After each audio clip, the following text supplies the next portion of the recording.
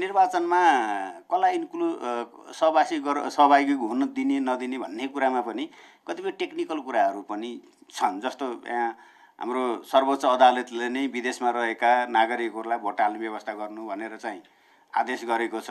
यसै त्योभन्दा हाम्रो चौसठीमा चाहिँ कैदी बन्दी कर्मचारी सेना प्रहरी सबैले चाहिँ समान रूपमा भोट हालेको थियो।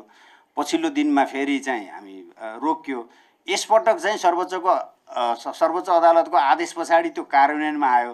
तर व्यवहारिक रूपमा चाहिँ सबैले इन्स्योर भएको अनुभूति चाहिँ भएन। अब सिम्बोलिक रूपमा चाहिँ मान्छेले भोट हाले सैद्धान्तिक हिसाबले एक्सक्लुड गरिएन।